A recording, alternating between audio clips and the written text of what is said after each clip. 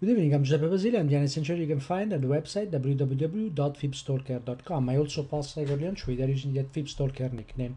Good evening. Um, today is October uh, the 8th. It's Wednesday, October the 8th, 2014. It's 11 p.m. time in Toronto. And in this video, I'm going to provide to my newsletter subscriber um, subscribers uh, a quick um, uh, midweek update on the 12 markets I follow. If you want to receive this video, can just go to my website www.fibstalker.com subscribe for free uh, to the newsletter and uh, I send a midweek update on Wednesdays typically and um, a weekly review full weekly review on uh, on Sundays. My method is based on spotting the footprints on price of algorithmic trading. It's quite unique and uh, um, I also have a proprietary fib stalking technique. It's a timing technique that I use to procedurally test area of support of resistance and is based on the existence of program trading on large volume market on the smaller time frames. The method also allows uh, price discovery, so allows to uh, um, provide a, a, forecast towards the, um, the probable direction of the market when some specific levels are, uh, are actually um, are actually broken. So let's review quickly uh, how I've been playing this market in the last few months. Uh, people who follow me will remember that I mentioned and traded this 136.68 into first and second target and at the time I was looking at 130 as the level 130.20 as the level of uh, support for this market. The level never played, but that didn't, um, you know, that anyway allowed us to keep trading this market. And actually, the next trade I mentioned on uh, September the 16th on the um, on FX Street, uh, LAR, the live analysis room with Dale Pinkert. I mentioned live this uh, area of resistance 129.84. Price never went above 130.14 and then he came into the first and second target and as you can see there was a reaction at the second target 127.11 and there was an indication that actually this market and this this market actually was continuing in measured move longs uh, shorts. The next measured move didn't come from the uh, previous anchor but came from an inner move. When we see this move lower or higher there are always inner moves uh, that uh, we can use to model the market. And as you can see here the market again reacted at 129.05 and that's a level that if we keep tracing Fibonacci we could discover the day before as you can see, the price went into the first and second target of this new trace, and then there was a reaction right at that second target, and uh, the market actually continued uh, trading in extension short here until we got to, uh, to this um, um, new 127.56 uh, priced uh, traded into the first and second target, and we actually could trade this because we knew now the new anchor uh, from which trading the um, the um, uh, the Fibonacci study. And the next measured move, 2633, um, found participation and then eventually broke. And uh, I mentioned that I wanted to get a confirmation for a for a move uh, for the start of a move higher of a, of um, an actual profit profit taking here from this big short since now. Um, basically uh, May last uh, last year. So I believe that uh, measure move higher has started, and I believe that has the potential to bring price into the next extension start on the weekly. This market has not finished on the downside. Make no mistake. I'm looking for 121.20 at least in the euro, so mm, we can get there after our, uh, reaction higher into the next area of uh, resistance. Congratulations to those who uh, traded this uh, 18, uh, 19, 20 area here.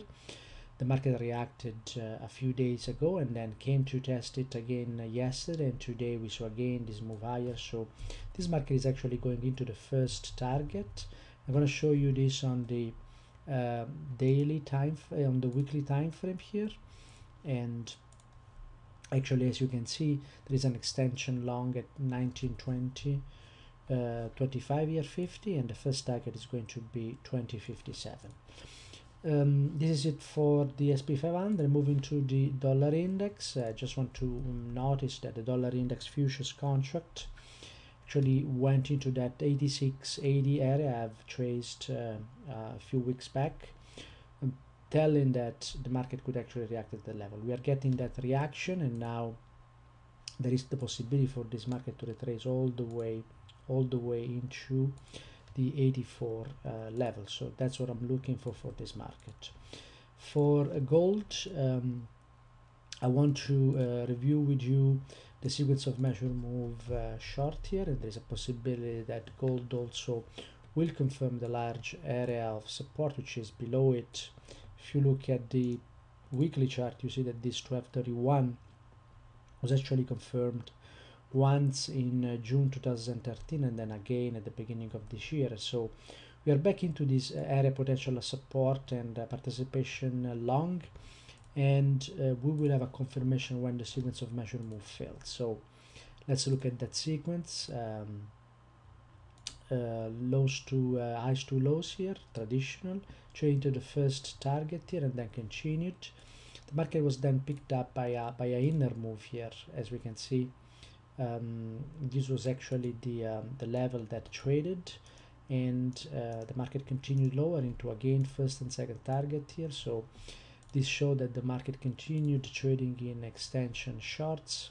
And again tracing from lows to lows. We had that 1240 level of participation first and, and first target and the second target was not hit uh, not before the market would get into the next measure move short and all these trades I can trade I can trace with days uh, in advance sometimes weeks on the larger time frame months and that's where we look where I look for participation of program trading. Program trading is a is an important class of algorithms. Everybody speaks about high frequency trading, but nobody speaks about uh, what really moves the market because and there is a reason for that because high frequency trading can be actually uh, cannot be exploited by by human traders because uh, it's too fast. But uh, program trading it can.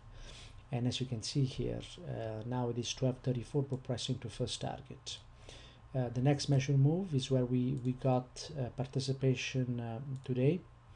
And um, we can see this um, pin bar here the reason for that was participation on the downside downside from program sharing 1219 uh, now as you can see this area of potential resistance is being uh, is being put under pressure so there's a possibility for uh, this wall sequence of measure move short being violated, which would be an indication of a renewed move higher. Moving to the US dollar Japanese yen, I mentioned that um, I mentioned the um, in my last review on Sunday that uh, if you review that, if you haven't reviewed, just review it. I showed this measure move. Um, remember that I, I traced this area of resistance uh, as support and my stop loss is the red line now I also have a technique which I already mentioned before the fib stalking timing technique I study the sequence of measure move on the shorter time frame and when there is a violation of those then I trade in the direction of this larger area of, of support. And as you can see market went into this first target and then again the market the next measure move was the uh, was this uh, this trace here. And as you can see there was a violation of this uh, area which means that the market is actually correcting. What is it correcting? I have uh, an important level is the previous high on this larger move here and actually uh, I already uh, and actually I, I uh, actually showed these levels on on Sunday as well. And as you can see today we got a reaction right at that 107.86 so if the market can stay above this level and above the 107.21 we're going to continue higher from here. And uh, that will depend also what the dollar will do the dollar index. However dollar index could continue lower and this price just keep bouncing uh, up uh, a higher and low and low uh, on this um, area of support 107.77 uh, if the price goes below 107.21 then we have the potential to trade into 106.60 and that's the next level. So at the moment I would consider both of these levels. The versus Japanese yen went to retest that uh, important area of support as we as I mentioned here and um, it didn't touch uh, it last week but this week actually went through it and into it and then the sequence of measure move lower failed here. So this is an indication that this market uh, uh, actually has now the potential to go all, at least all the way halfway back. And it is actually bouncing between a larger area of support which is the uh, weekly area here. And of course um, mm, a weekly area of resistance here which is the one that uh, that you see here. So we are constrained between support and resistance here. So there is the possibility for this market to go all the way back into 141 or at least to go back into um, the 138.90 level. This is these are the price discovery capability of the method I use. And again this method leverages uh, what program trading is doing in the market. I also teach a um, coaching program on uh, on these methods. If you are interested contact me at fibstalker uh, at gmail.com or just hit reply on the newsletter. Moving to the pound versus Japanese yen here um, this market is in a, different uh, situation but uh, likewise the US versus Japanese yen it's trading a, a weekly extension here 165.80 is the level and as you can see Three weeks ago, this weekly extension broke price into first target, this 117.11, as we uh, uh, as we taught. Now, um, when we have these moves, within these moves there are um, uh, a number of other moves that take place on the smaller time frame, and let me show you a few of them. Uh, we had uh, the move, this move here, which actually traded uh, 169.50 and that was identified by me at the beginning of July. And eventually at the beginning of September went to trade that level we could time the sequence of measure move short here. And then when they broke uh, there was an opportunity for a long here in 10 days very very good trade up to 20 uh, reward to risk depending on how you would time this.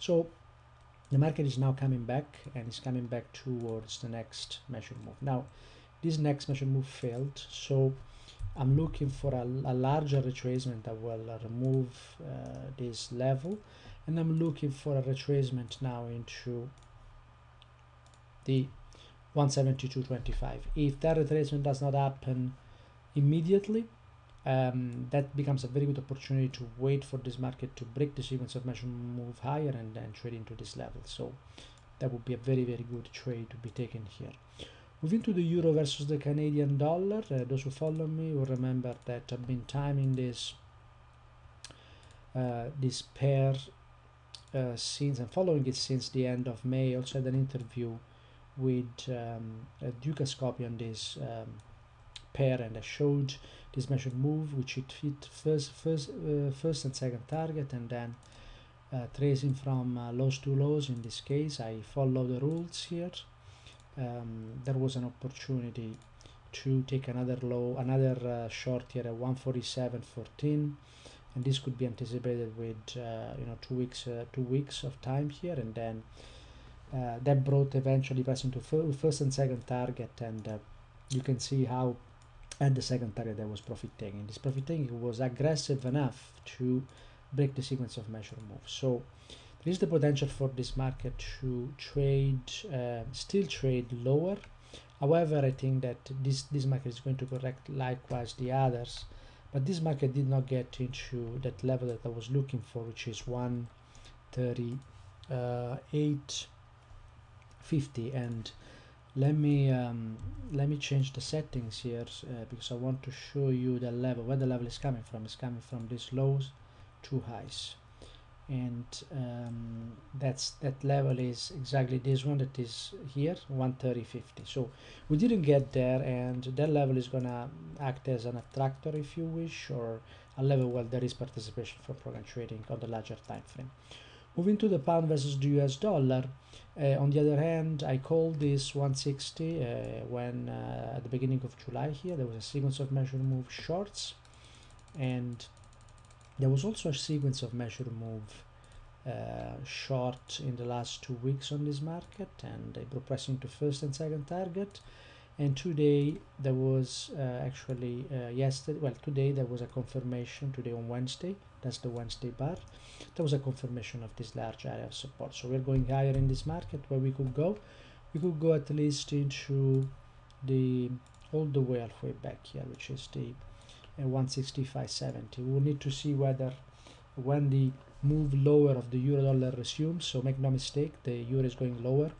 Uh, what we're going to see in the next uh, two to three weeks to four weeks is going to be only a reaction higher into 130 and this market is going to probably follow the same a reaction into 165.70 so it's going to provide uh, an opportunity to sell as well. Australian dollar versus US dollar again same situation. We had a nice sequence of measure move short here and I can show that sequence uh, to you here. There was um, the uh, lows to lows from um, the weekly lows here. Two lows that was the first trace 91 11 which progressed into first and second target and then it was just a continuation of a sequence nice and, and clean sequence of measure move. Lower here showing that this market is actually very very um, um, uh, very nice volume and very very good presence of program trading but when we saw the um, the failure when I saw the failure of this measure move here uh, with the market uh, going into the 08652 I mentioned that we could have a quick um, move higher. So where this market is going this market is is actually does not have any uh, important uh, support here um, below price. Um, actually you know people could uh, are going to invoke the same uh, lows here or whatever. But the reality is that this market has still to correct into the 08950 here. So how we get there I don't know. Uh, what I know is that this might just be a reaction higher and the first uh, area I'm going to I'm going to look at is going to, is going to be for me the all the way halfway back here. Mm, that would be mm, one of the areas and if this if this move is not that aggressive I think uh, likewise the euros we could just uh, get into the 89.42 but I think probably probably this market is going higher. I mean the market will tell us where it stops where the sequence of measure move stops uh, that is when the new short will be starting again. And um, US dollar versus the Canadian uh, yen I mentioned there was this 1250 level of resistance. Uh, go back and watch my videos. Also I didn't trust this um, this sequence of, uh, of measure move high higher here because we had participation at this 108 but then uh, and price was brought into the first target here but then we did not have participation at the next measure move. And however you dice and slice this uh, there is anyway a violation of, uh, of the sequence of measure move. So to me and we knew this already before because from the weekly time frame this this this move lower actually violated a very important level. Um, and so now I'm looking for actually a correction all the way into the uh, 109.45 and finally the New Zealand dollar versus US dollar. I mentioned an important uh, level of support here that was tested twice this level of support is obviously a previous measure move that uh, was tested twice and is finding participation again. When this market where this market is going? Well it is going at least into the extension short here. It could take two or three weeks to get there or maybe just one week. And we will see what happened at that uh, 080 50 60 area here and uh, this could be timed as well uh, using the Talking timing technique. This is it for today. I hope you enjoyed this review. Uh, be careful if you are in short. We are in a strong uh, potential uh, short covering of the this big short that we had in the last few weeks. And uh, this is it for today. If you want to have questions about the Fibstalker methods that I use to study the market and trade the market as I showcase here just let me know uh, you can send me an email at fibstalker um, at gmail.com or just hit reply to to this um, uh, to this um, uh, uh, to my newsletter. I want also to uh, uh, say that I'll be um, having a speech for fxstreet.com at the Toronto Money Show next Thursday the 16th. So if you are around the GTA or in Toronto, Canada, um, I'll be I'll be glad to have a chat with you. Look for me at the FX Street uh, stand. The October the 16th, 3:30. It's gonna be um, my speech, uh, and I will talk about. I will touch about uh, on my on my method as well. Thank you very much, and have a great evening.